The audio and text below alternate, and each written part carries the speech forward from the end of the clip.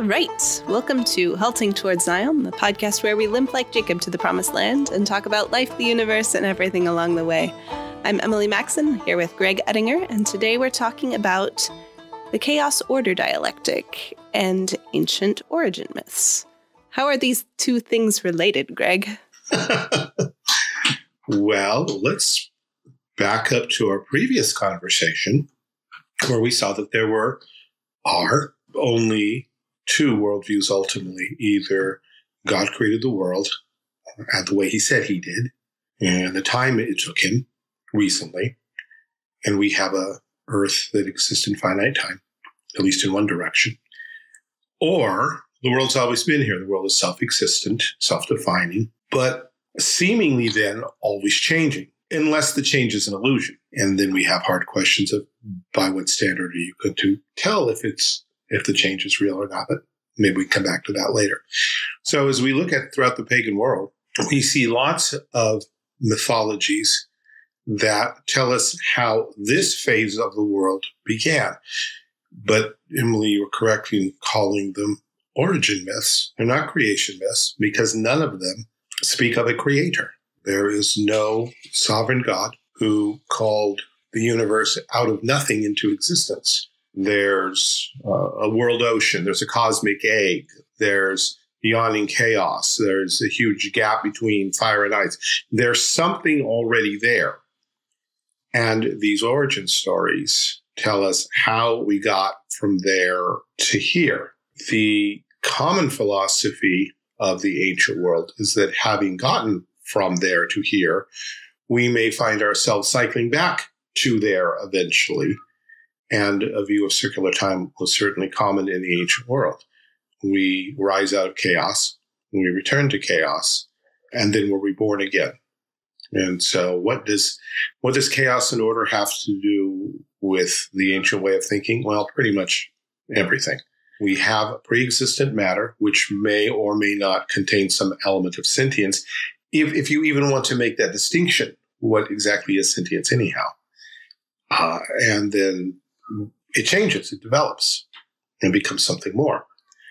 Or it seems to, if you're a pantheist, in such cases, the changes are illusory.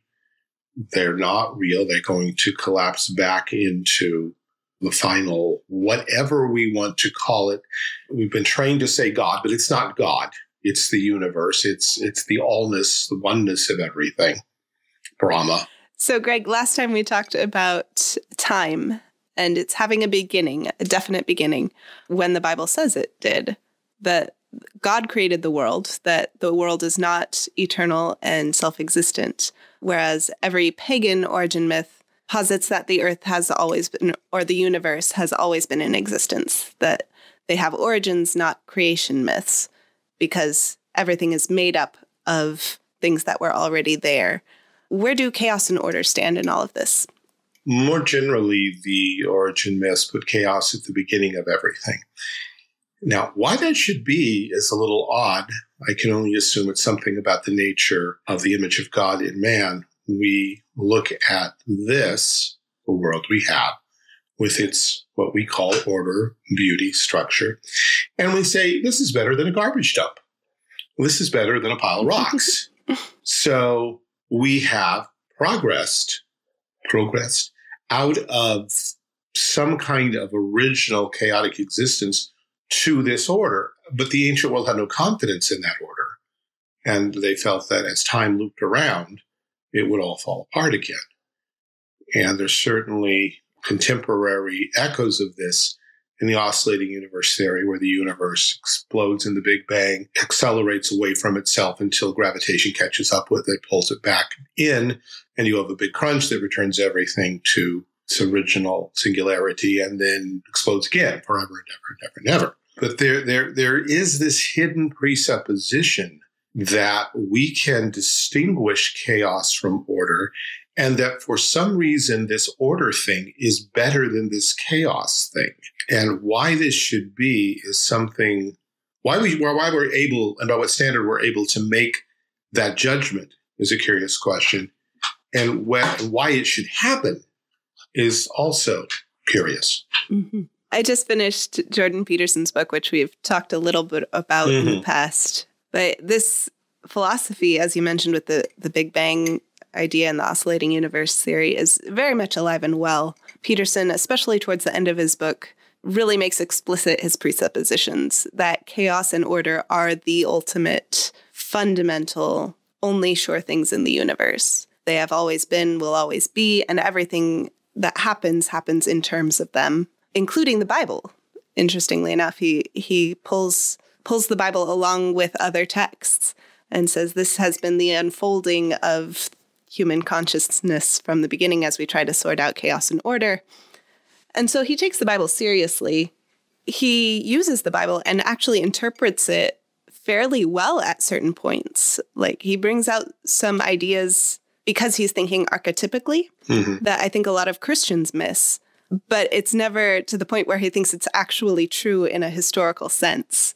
And that's just sort of where it falls off. And I'm like, oh, this is so disappointing. It's so close. so, is are, are, there traces of uh, Carl Jung here? Is he seeing the human mind leaking out its contents into the sacred various sacred texts so that we get a glimpse of what's really behind everything or is, am i missing i think that's exactly it the result of that jungianism is this looking to chaos and order as ultimate i think for for peterson i don't know if that's the way it goes i'm not familiar enough with Jung to say that that's how it always goes but for peterson it certainly does well, there's, there's only so many possibilities, and we, we, we can trace this kind of thinking back to Plato, who looks for the, the ideals, the archetypes that somehow define all reality. But Plato himself had no idea why or how exactly that worked. There are these ideas that are, and now we're falling into Greek categories form. Mm-hmm. order, but where they came from and how exactly they get imposed upon matter is apparently for Plato anybody's guess. He he suggests kind of allegorically that there's some little demiurge. Who, who's the character in, in Wreck It Ralph who keeps saying I can fix it? Fix it, Felix. Fix it, Felix. Yeah. Right. The, the, yeah, yeah. There's there's there's this little godlike Felix character who can go around and try to force the universe, the, chaos. And then, you know, we keep saying universe. That's a loaded word too. It implies unity. You can say cosmos, but cosmos is a Greek word that means an ordered system that, that tries to force the chaos into some kind of order. But where do these archetypical ideas come from? What makes them archetypical, and why should anyone listen to them? I have thought about clouds. There's a wonderful Peanuts cartoon that I should have brought along with us, and, and I didn't. But Lucy and Linus and Charlie Brown are looking up at the clouds. They're lying on a hillside and watching the sky. And Lucy asks, uh, Linus what he sees. And he describes a couple of incredibly detailed historical scenes ending with the stoning of St. Stephen. and Charlie Brown, Lucy says, Charlie Brown, what do you see? And Charlie Brown says, I was going to see a ducky and a horsey, but I'll think I'll never mind. Uh, we, we look at clouds and, and we see patterns oftentimes, but we, as big grown up people, we know, oh, it just looks like that. Um, so, how do we know on a larger scale that when we look at something and call it beauty or order or pick a archetypical word, how do we know that that's just not a passing mood of chaos? You know, you can you can throw out glitter or I Ching sticks or whatever, and in a moment, as as as they pass through time, they can take on all kinds of pretty shapes. They can look like a donkey or a, a ducky or a horsey, but then they fall apart. It was when we say, well, that's just illusion. Yeah. What about everything we see? How do we know that there is something archetypical behind this? How do we n- not know that this is just one of the many moods of chaos that's here for a hundred years, a thousand years, a million years against the vast backdrop of eternity? why is that form? Why is that order? Why is that any more than, than cloud gazing?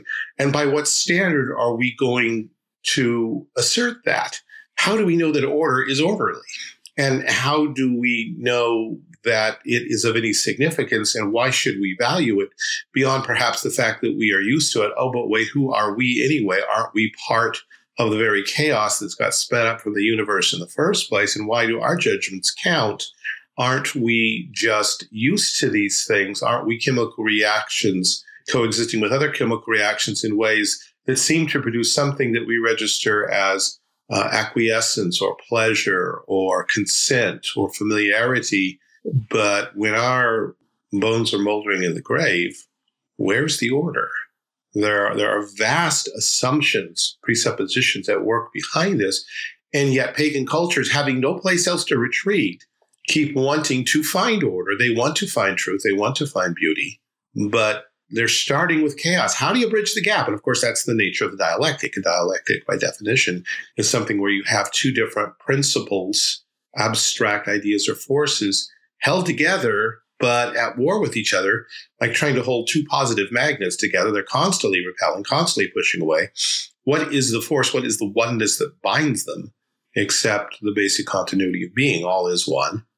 And is that one just at bottom chaos? If you're a materialist, it's atoms in the void, atoms in motion, or energy particles, or whatever you want to call them if you're a pantheist, then you don't even have that exactly. You have some kind of spiritual essence, which does not exist in discrete bits except as we take the illusion seriously. And that in the end will pull everything back into itself. Uh, where, what is this, what is this order thing anyhow? Why is it so important? And why do we keep looking for it? Why, why is Jordan Peterson, right? Why is he mm-hmm. seeing clouds in the Bible and in the other sacred texts? Why are these things, why does he say, oh, this is important. This is an archetype. This is something to take note of. This is something we should listen to. As Christians, we need to look at him and say, why? Well, don't you agree? Yes, but not because of your reasoning. Your reasoning makes no sense. you got where we are, but you cheated all the way along. We read the text as a text that tells us certain things about a true God who exists outside of this realm we perceive as, as chaos and order, who uh, in fact governs the world in such a way that it is neither chaotic nor uh, some kind of static order, but it is the uh, providential work of a storytelling God who's working all things together for the good of his people and for his own glory. Uh, we do have we have change, real change. We have real development. We have a story that's in progress. And the order is intentional. It's imposed by the very God who brought the matter into existence in the first place to be exactly what it is. It's not an accident. These things are not at odds with one another. They are both aspects of God's providential rule over the universe, stemming out of his eternal counsel and predestination. So we're quite comfortable with all this, and we're not surprised to see our Father's hand, mm-hmm. even down to saying, Isn't it great that God just made that cloud that looks like a dragon so we could smile at it and laugh for a second? Because he really, mm-hmm. really did. Uh, the the things that that fall by seeming accident into some pattern that we recognize. And sure, we can talk about Brownian motion and all of the physics behind the accidental fall of the of the glitter or the paint. And yet, as Christians, we can also say God has a sense of humor. Look at that smiley face that just showed up when everything fell. God did that, and both are true. So yeah. we we we we have answers that are consistent within our system. He, Jordan Peterson and people like in the pagan world in general, they want order. They sense a need for order because they are made in God's image and they're living in God's universe. And, you know, order kind of is.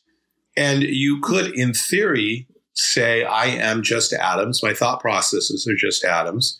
I'm just spinning here in the void. Nothing matters. There's no real line of distinction between my atoms and the atoms of that freight train bearing down on me.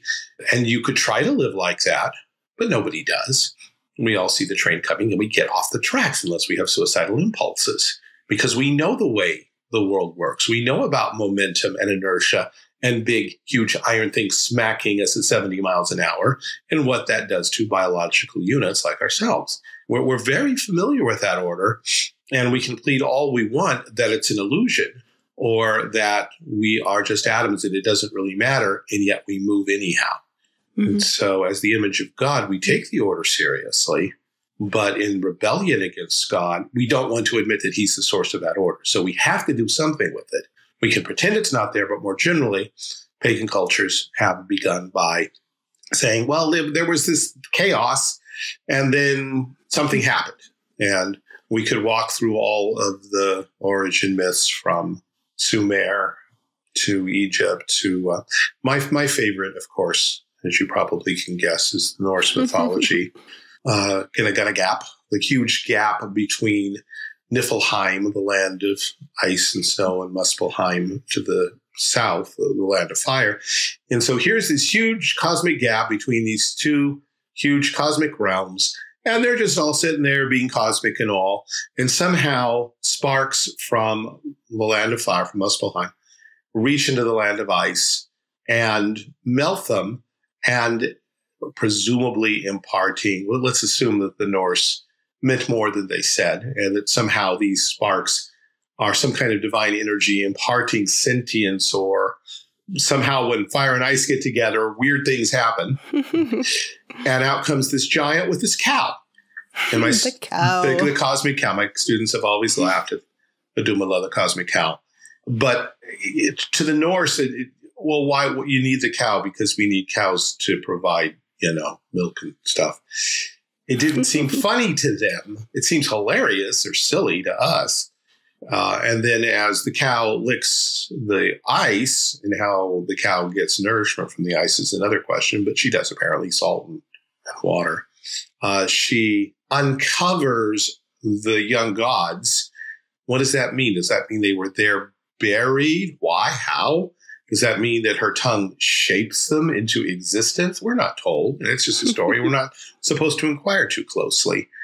But she uncovers uh, these gods uh, who have children, the chiefest of whom is Odin. And the gods turn on the giant and dismember him and make out of his body. Well, his, his flesh becomes the earth and his uh, overarching brow, the heavens, and his bones, the rock, and his blood, the rivers. Um, I don't remember it all. uh, but they create Midgard in the middle of the cosmos between the two the two previous realms. And above that, they set Asgard, which will be their home and connected with Glimmering and Bifrost Bridge and all of that.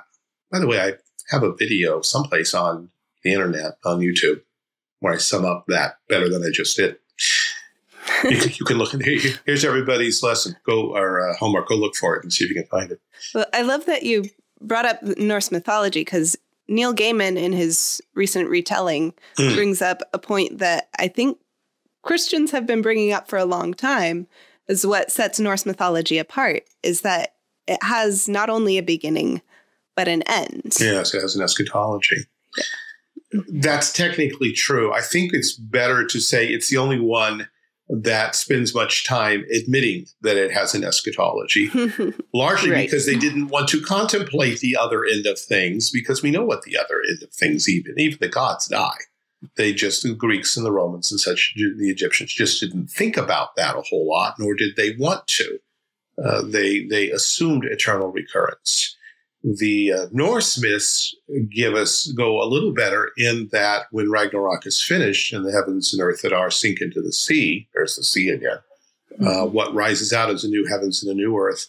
And depending on how much credit you're willing to give to the manuscript evidence, there comes a new great God who will rule over all and set up law and justice of course, the pagan scholars, humanist scholars, could then say that's obvious. It's a reference to Christianity. Was obviously added later, which is possible. Or it may be that they had some kind of hope for something, or that some of those myths were not put in their final stage until they encountered Christian missionaries or some kind of early Jewish influence. We don't know, but they did. They did certainly have a positive hope. The gods die, and yet the gods can be reborn. And but again, this this is the basic cycle the um, the myth of the uh, eternal return that everything will come back again in some form, maybe even in the exact form. We may have we may have lived this life and had this conversation a billion billion times, and we'll never know it and never remember it. Isn't that exciting? How's how's that for hope? Is that Nietzsche yeah. speaking? Nietzsche picked up on it, but it was hardly original with him. Mm-hmm. Whereas over against that, Christianity acknowledges that time has a beginning but it does not have an end. And Christians miss that sometimes through a little bit of sloppy exegesis. Uh, we there's a passage in Revelation where the seventh angel blows his trumpet and swears by God that there will be time no more. But what what the Greek is actually saying is time's up. That's a reference mm. to the, the persecuted martyrs who've been calling out for judgment. They uh, they're told they have to wait a little while until the other martyrs are killed. And when the seventh angel blows his trumpet, he's saying, "Okay, the time's over. Time's up. God's hurry about, up, please. It's yeah. time." Sorry, that T.S. Eliot reference just completely lost me. Sorry. I'll save T.S. Eliot for later. yes, hurry up, it's time. Emily's T.S. Eliot's reference. But it, once once we understand that and we look at what we see, what we call eternity future is still temporal because man cannot exist outside of time. Man is a temporal creature. Only God is transtemporal. Only God is not bound by time. Only God exists outside of its confines. So we will, just as we will always be creatures, we will always live in time. We will always live in a material world. We will always live in three dimensional space. These are givens for our existence. There will be a time when we're wearing crowns, and there's a moment when we cast them down at the feet of the Lord, even in yeah, eternity. Exactly. There, there, there is progress. We will be reigning, which is an activity, not a mm-hmm. static state of existence. So, as Christians, we're not afraid of time, but we do recognize that since the fall, time carries with it some very negative things because of the curse. We, the whole creation does groan and travail together in pain, uh, birth pains, waiting for uh, the redemption of the sons of God, the redemption of our bodies, and the uh, new, the transformation that will accompany the whole world when that happens. Romans eight. So we we have a positive view of time. Jesus has bought back time. He is blessing time. Time is now the the field of God's operation for redemption, and it's not something we are to um, moan and groan about as if that's bad, as if some kind of uh, abstract stasis, some kind of Neoplatonic timeless existence would be better it's not that we're not mm. made for that. We can't handle that. We wouldn't understand that. We we will continue. Time is eternal in one direction, on mm. into the future, and eternity is something we can't cope with. Which is one reason that when the Bible talks about eternity, it doesn't tell us a whole lot. Um, this is something I have fun with sometimes, just thinking about it for you know a minute and then giving it up. But if we look back on this last century, uh, if we were to take our current technology, well, not mine, I'm kind of Amish, but the kind of stuff that you two carry about with you all the time, your, your, your cell phones and laptops and such, and you were to step back into, say, 1870, uh, and your devices still worked, people would think you were probably uh, witches, sorcerers, uh, possibly creatures from another world. There were a few people who were open to the possibility of alien life even then possibly frauds. They they would. Yeah, I, I've heard of, of people live, who left lived into the 1930s and 40s who would not have televisions in their houses because such things obviously were impossible and thus must be of the devil. Mm-hmm. And they were completely serious. But we've come. My uh, my grandmother on my mom's side was born at the tail end of the 1800s her mother was a little girl during the last days of the Civil War. Uh, my grandmother so lived from the late 1800s to see the moon landing uh, and died a few years after that. But imagine the world she saw change from horse and buggy basically up through, or just maybe just the very beginnings of the automobile. It wasn't a common thing yet. Up through Neil Armstrong setting foot on uh, on the moon. That's all. And, and, and at that point, we didn't have uh, microchips yet. We, the computers that sent men to the moon, were not as powerful as the computers we're working with right now. Uh, if you've ever seen the um, the movie Apollo 13, which I mostly recommend, uh, there's one or two awkward scenes up front.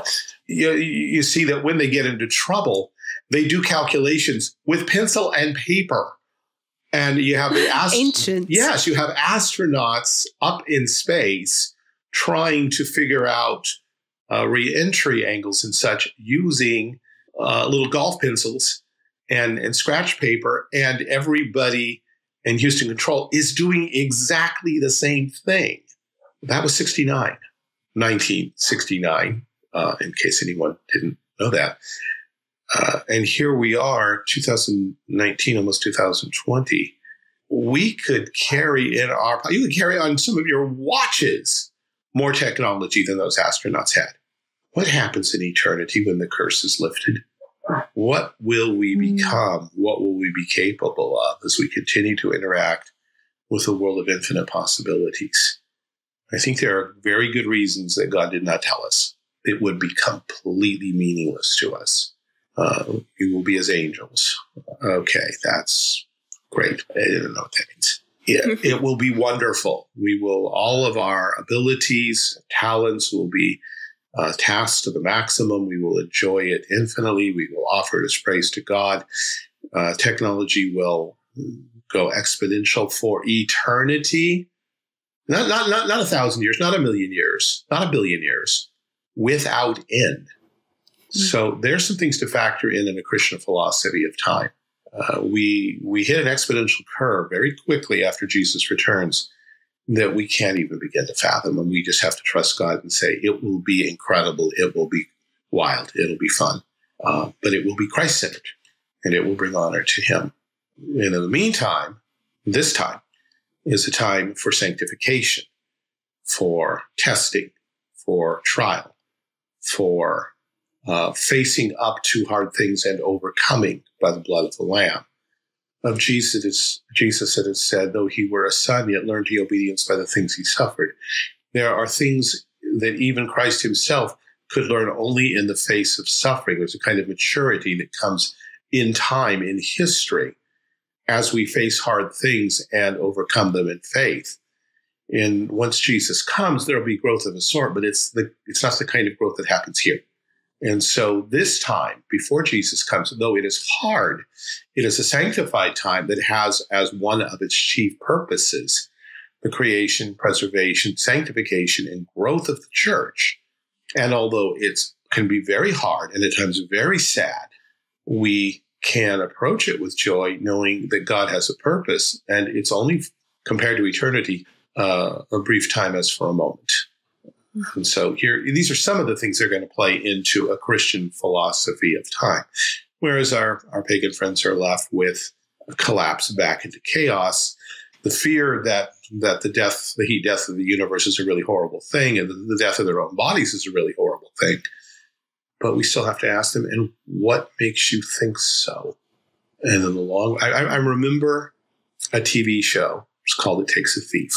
Nobody needs to go look it up but there's a there's a scene where the the hero, a thief, is uh, held by even badder guys, and he's talking to his young lady friend, and um, she says, "Well, you're not you're not afraid to die." He says, "Yeah, I don't know what comes after this life.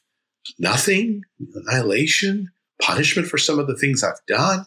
I don't know, but I know that life is sweet. Life is very sweet. Well, there's the pagan world. Life is sweet. Uh, Soc- yeah. Socrates was honest enough to say, I go to death, you to life. Who knows which is better? Because he really didn't know. He, he thought he was going to get to mm-hmm. go to an afterlife where he could hang out with Achilles and Odysseus and all the. He get to go see all the great heroes of the past. Well, he did, but not the way he thought. And so our, our, our pagan world looks at death mostly with fear, and they look at the any into the universe is a horrible, terrible thing. And to them, hell is the destruction of the planet, an atomic war, ecological crisis. This is the hell of the humanist. Again, a God given concept, an inescapable concept. Uh, the eschatology is inescapable and the eternal sanctions are inescapable. But whereas they don't have a God to inflict these things, they trust man to inflict them. Man can we we man can save man, if we give the state enough power. But if we get it wrong, we're going to rule the planet or we're going to blow up the planet or something. Be on the wrong side of history. You know, and and there's nothing worse than that. right. Right. Okay. Uh, the scary thing, of course, is that there are now those in the green movement who are saying, well, but the planet would survive and we as a cancer would no longer be there. That doesn't sound so bad to us. But even in their view, eventually the sun, the moon falls and the sun grows cold. and there's nothing. Mm-hmm. And they cannot handle the nothing. And so they keep trying to enforce some kind of meaning, some kind of order. And they want to believe that that meaning, that order that they've created, even if they freely admit, oh, we created it, but it's better. And we still have to ask why. And it's mm-hmm. going to be short lived, and you are going to die. Is that all you got? Is that all there is? yeah. Well, to circle back to Jordan Peterson, like mm-hmm. I always do. Um, so, as you say, this this pagan concept of the world has no hope, and Jordan Peterson, with all of his good advice and the centuries and millennia of Christian society that he's building on, that gives him a borrowed foundation for his good advice. There's there's really no hope there because he doesn't know that Christ wins in the end, and that has to be our ultimate hope is in Christ. That even though this world has suffering in it, and that we are promised trials and suffering and persecution, our hope is not in the moments of beauty that we find when we pet a cat as it walks across the street. Our, our hope is in Christ and his return and his triumph. And ultimately, we have this joy to look forward to, this unimaginable eternity of working to God's glory. I think there are a couple things we need to say. And I'm going to say the, the least important first, because you mentioned petting a cat. Why am I thinking of Nick Fury? The, those moments can be beautiful, are beautiful, mm-hmm. be, precisely because Christ redeems them. They're one of yes. the, the mm-hmm. Father's good gifts to us. They're, they're that little Sabbath in the midst of the struggles. They're the, the Father's smiling around the corner and reminding us of his love. And they are encouragements and they are glimpses of glory, glimpses of the, of the beauty and creativity of our, of our Heavenly Father. And so, because, Absolutely. because we know that Christ wins, these are not throwaway things. And in some sense, they're never lost. Uh, there's a line in um, Rebecca Sunnybrook Farm, whose author was a Christian. And it's just, it's a passing thing where the narrator uh, adopts just for a second a theological voice and says, and as nothing is ever lost in the king's dominion, and I forget where she goes from there. But the point that she's making is that no good thing ever passes away. God remembers it, will remember it. Uh, and the, that moment of beauty that we experience has changed us, has touched us, and echoes through our being. And we will be talking of that cat that we petted possibly for eternity, depending on how God orchestrates these things. But it's a good metaphor, at least, for what's going to happen. Schaeffer, in, in a couple of his books, I think, addresses the Buddhist idea that man steps into the pond and leaves no ripples, meaning he has no effect on history or anything because nothing's real. And Schaeffer says, no, we must insist that man makes ripples that go on forever. Uh, mm-hmm. And this, this, this too, we have to insist. And we must insist it of the smallest things. A cup of cold water in Jesus' name, the Lord says, will not lose its reward. So the end, in a very different sense from the way we usually use the word, does justify mm-hmm. the means, the steps to it, because the end is God's end. And his divine sovereignty and predestination overrules all of our sins and brings beauty and glory in the smallest kind of, of expression of who he is, whether it be a child's finger painting or the petting of the cat or an evening sunset or a storm breaking over the Swiss Alps. Uh, all of these things, Twinkle, Twinkle, Little Star, these are all things that are true and real and beautiful, and their meaning is not just transitory because Jesus wins. Now, here's the other thing we keep talking about this Jesus person. We haven't got there yet. We haven't even got technically to sin. And so people, it's just possible that someplace along the line, there might be some non Christian who we haven't completely offended and driven away by the things we've said, who, or someone who thinks they're a Christian and maybe isn't quite or doesn't quite get it, saying, "What? Well, okay, so I, when I was a kid, I, I, I walked forward and in this church and, and I asked Jesus to my heart, but I don't know what in the world that has to do with, with what you're talking about. So let, us take a moment and, and make things very clear as to who Jesus is. We've spoken already in previous broadcasts of this God who exists eternally, a self existing God, who is three persons Father, Son, and Holy Spirit. The Father um, begetting from eternity the Son, the Son being begotten, the Father and the Son uh, eternally communicating, loving one another, and breathing back and forth their love in the person of the Holy Ghost, the Holy Spirit, who is also fully and completely, truly God, so that these three are one, but these three are three. And it is the second person of this Trinity, the second person of the Godhead, the Son, who, in the Father's goodwill, according to his eternal plan to, to save mankind, to glorify his Son, sent his Son into the world as a ransom, as a redemption price for um, those who had rebelled against him, who deserved hell, who deserved eternal wrath.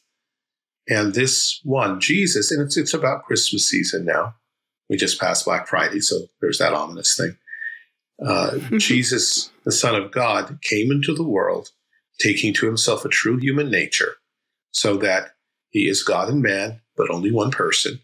And that one person, being God and man, has a life whose value is infinite has the ability to withstand the full wrath of God against sin, but he's also human, capable of suffering, capable of dying, and capable of representing man. And this man, this God man, went to the cross, died, penal substitutionary death in the place of sinners, so that those who trust in him do not have to suffer the wrath of God. He did that for us. And then Jesus came back to life. He rose from the dead. He, he was really clinically dead. And then he stopped being dead. Uh, his uh, brain waves came back online. His lungs began respiration again. His synapses started firing. He got up and walked out of his tomb. He was really alive. He beat death.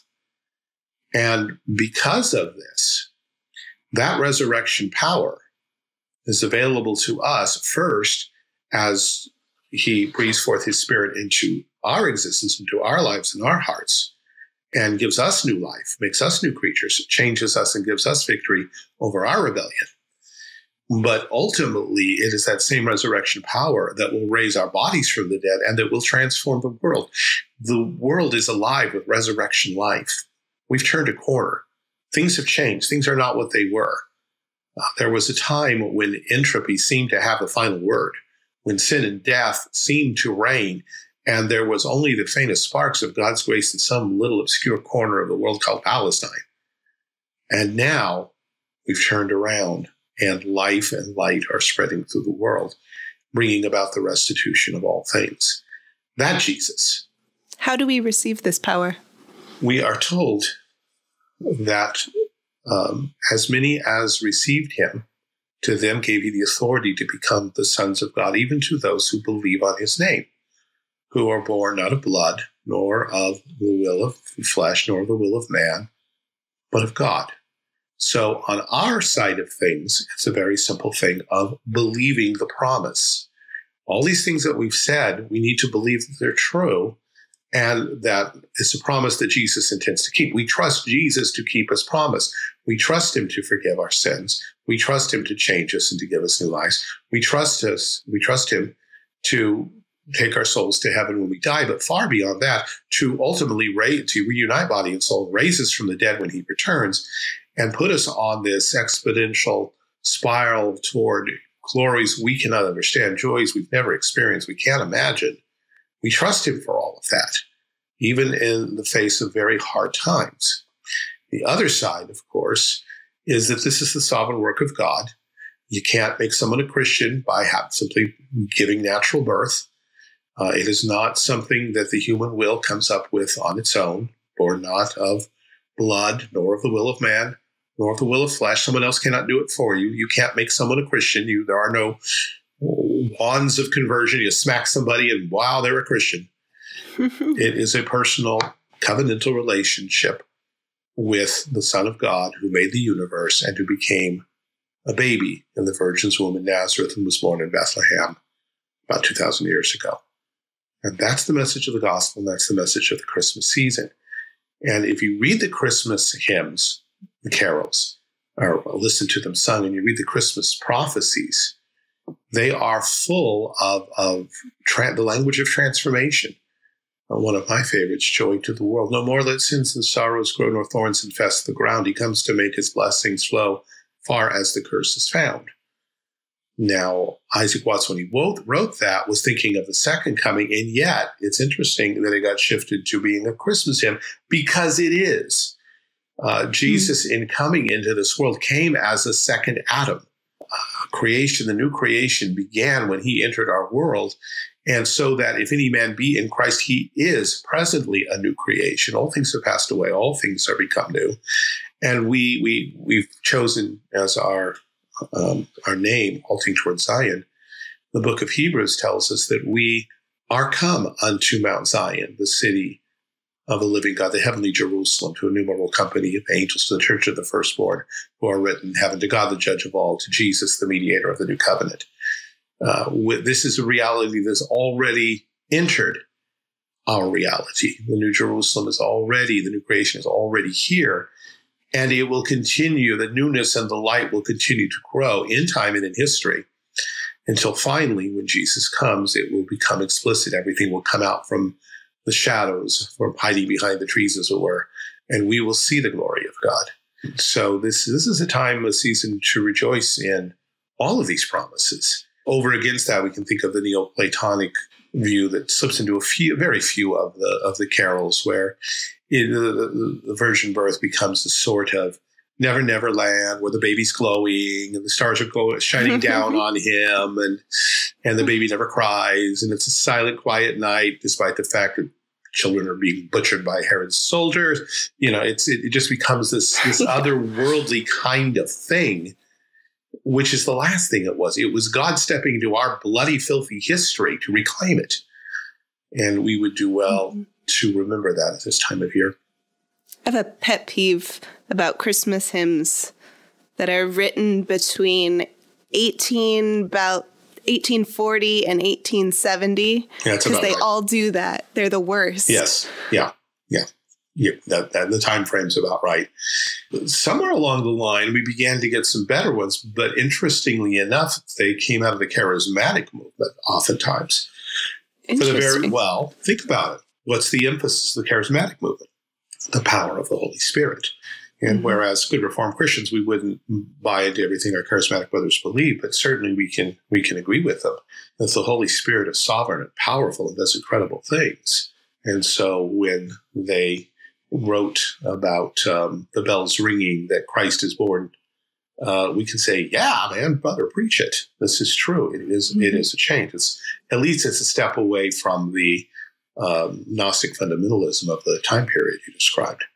But you go back to someone like Charles Wesley, then we we have solid scripture, uh, scripture upon scripture, reminding us of who Jesus is as the second Adam, come to undo the work of the fall, born to raise the sons of earth, born to give them second births. So this parallel that you just mentioned between the first coming of Christ and the second coming of Christ, that we live in this period of victory, although we wait for the greater victory to come. It's the, the already and the not yet. I would add something, and, and um, mm-hmm. our friends at Westminster are very, very good at pointing out the already and the not yet. What they miss most of the time, at least, at least I keep hearing that same expression, already, not yet. Yes, true. But well, let's, let's look at um, the Christian Christian soteriology. The already, I'm born again. I'm converted. I have eternal life. I have the Spirit dwelling within me. The not yet. Um, I have not yet been raised from the dead. I have not yet seen Jesus face to face. Is there some major doctrine of the Christian life missing here? How about progressive sanctification?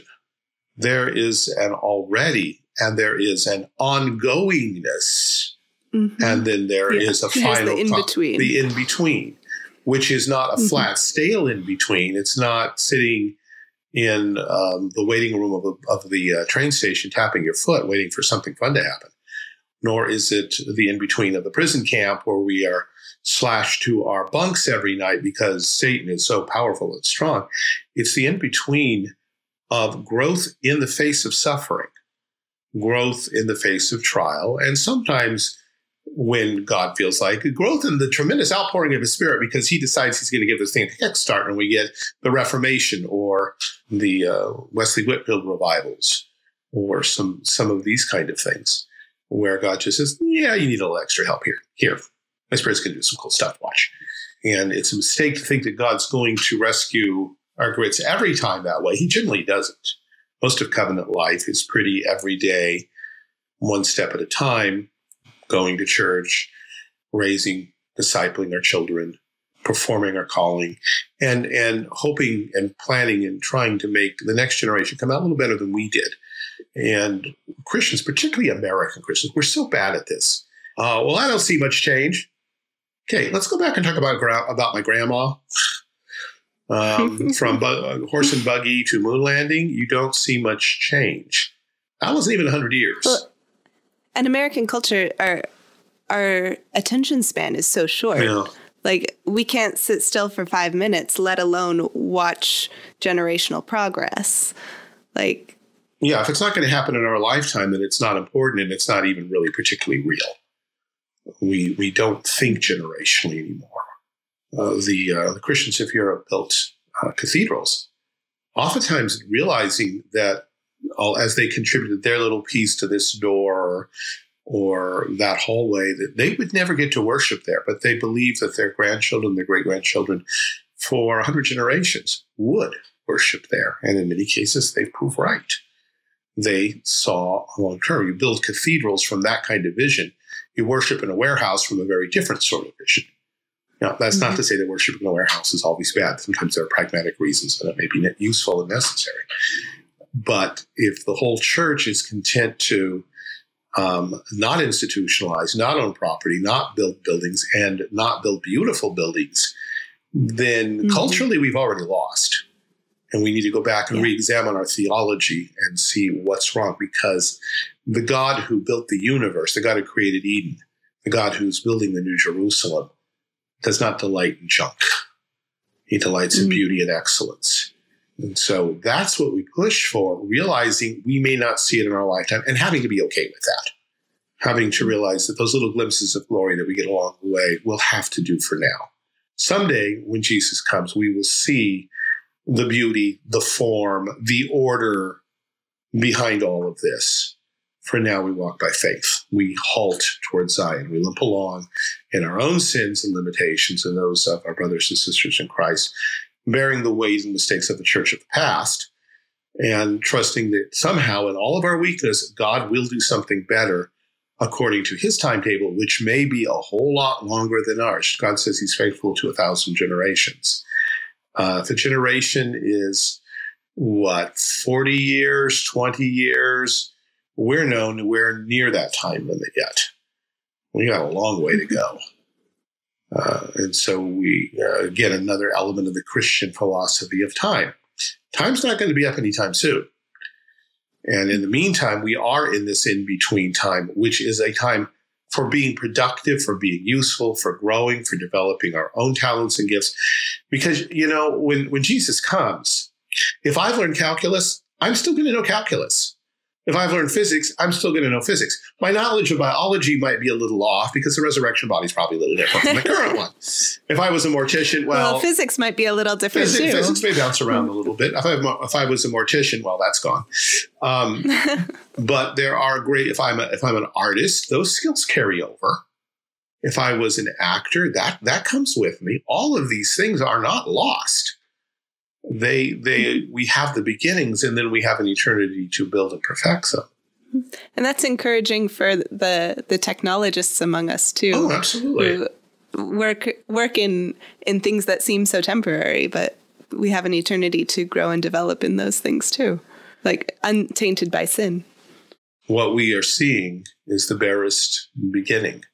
So that's as i say sometimes i sit back mm-hmm. and talk think about these things for a few minutes and then give it up because it, it, it, mm-hmm. will be wonderful, but we can't even begin to conceive. But that has to be there, at least as a limiting concept, lest we get the idea that all of this stuff in the in between, all of this stuff that is progressing, is worthless.